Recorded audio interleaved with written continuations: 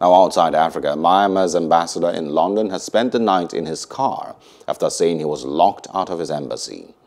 Kyaw Zwar Minn said staff were asked to leave the building by Myanmar's military attaché on Wednesday night and was told he was no longer the country's representative.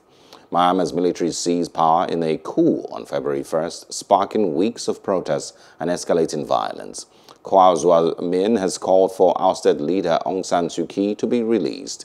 More than 500 people, including dozens of children, have been killed so far as pro-democracy protesters demand a return to power of elected leader uh, uh, San Suu Kyi and, of course, a National League or her National League for Democracy party.